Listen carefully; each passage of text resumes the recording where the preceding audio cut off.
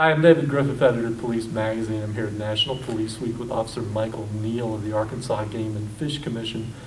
Uh, Officer Neal is the October 2010 uh, Officer of the Month from the National Law Enforcement Officers Memorial Fund. Officer Neal, tell us about the incident that led to your earning this award.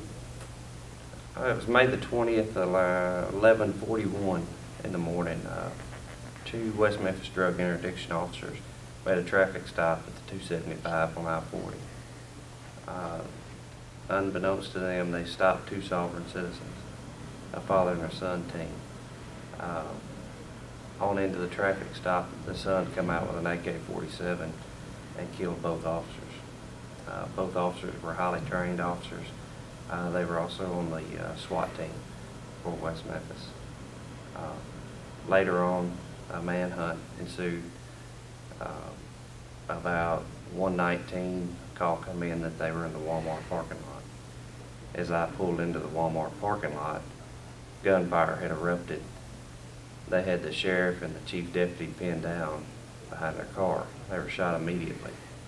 Uh, They were critically injured. Uh, I thought they were dead. And as I was approaching the vehicle with my uh, state-issued truck, the guys put it in reverse and tried to exit the parking lot.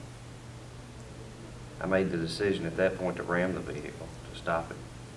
Uh, A gun battle ensued, and I had to use my state-issued M4 rifle to uh, stop the threat. What is a sovereign citizen? Uh, they're an anti-government group that's growing very rapidly here in the U.S., unfortunately. Uh, they're about 350,000 strong now across the U.S. And they have beliefs that uh, their is different from ours and they don't have to follow our constitution or laws. What are some of the normal duties of an Arkansas wildlife officer? I mean, you're not normally in a gunfight in a Walmart parking lot as a wildlife officer, are you? No, sir, not every day. Uh, Normal job performance is, we do everything from general law enforcement to, get- uh, uh, you know, the Game and Fish Commission, Mhm. Uh, making traffic stops.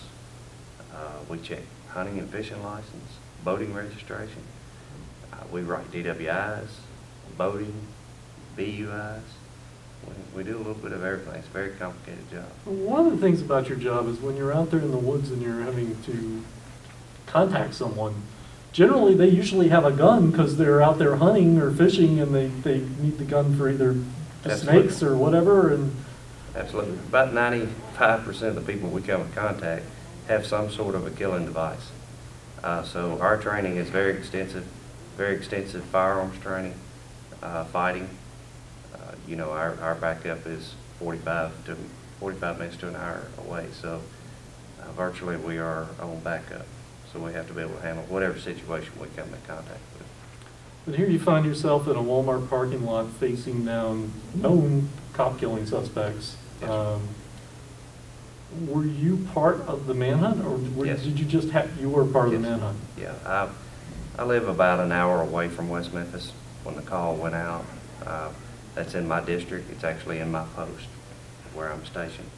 Uh, Being state, we are state law enforcement, uh, you know, we have the same powers as state police. So when the call came out, I felt it was my responsibility to, to respond. Interesting. You said you rammed their car with, with your car to, uh, I guess, draw attention away from the officers who were under fire and wounded. uh, Absolutely. uh, Obviously, you don't train to do something like that. What gave you the idea of doing that? Well, I knew that we had to stop it at that point. In my mind, at the point we were at, they had already killed two officers, and they had just killed two more in front of me. I thought the officers in front of me were dead. So I knew that if we didn't stop it right here, we were gonna lose innocent lives plus more officer lives. And, uh, you know, it was just a split-second decision. You know, we have the rest of our lives to critique. But it's a split-second decision you have to make as an officer, and, uh, you know, at that moment, that was the fe- the best thing I felt needed to happen was stop that vehicle. So the only way I knew how to do it was to hit it because they weren't gonna stop. It was a fortunate decision because the two officers whom you thought were dead survived the incident, correct? Absolutely. As soon as I was approaching the vehicle, I started taking gunfire. I was fired upon before I fired a shot. So, uh, that, matter of fact, if you watch the video and you take your eyes off the impact, you will actually see a skip round that hits right behind my truck as soon as I ram him. Hmm. I knocked him off balance and he was unable to land his first shot. I Hmm. took uh, around 15 rounds through the hood, dashboard, and windshield of my truck. Wow. All right. So you start to ram their vehicle and they are attacking you at that point. Yes, yes. And how are you avoiding their shots? The first two shots I landed eliminated the driver's threat immediately. Uh, The, the gunfire started erupting into my truck. I would, I would lay down, and as it would kind of come and go, I'd sit up and engage. The, the only thing that I could see in the vehicle was the gunfire from the second suspect into my vehicle, and that's what I would engage. And he was doing the same thing to me. He could see my gunfire, he- you can tell the way he was walking it across my windshield, that he was trying to find me in the vehicle. Uh, there's, there's holes in my headrest. I think there's around seven holes right around where I should have been sitting in the truck. He was that close. I've actually received some of the shrapnel where the bullets were exploding into my back, my side, and my leg. Um, Had a piece of glass went through my eye, busted my left eardrum, uh, cut my forehead, and took all the skin off the top of my hand. I guess I held the steering wheel the whole time as I was firing with my right hand.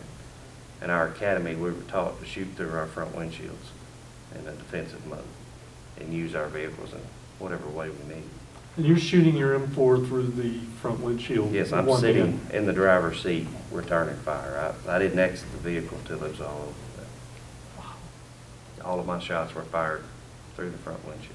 Now, do you have military experience? No, I do not. Is this the first time that you were ever under fire, or? Uh, no, I've been in, I've been in, uh, some gunfire exchanges before, uh, not to this extent. Uh, uh, This is the second time that I've actually had the trigger. But, uh, my sheriff's department training that I had before, I was a firefighter. Uh, you know, in firefighting, you're, you're, you're under extreme pressure when you're in a burning house and you're breathing off a mask. So that, that kind of helped me with my, uh, my being able to think under fire pressure. Thank you very much for your time, sir. Yes, sir, thank you.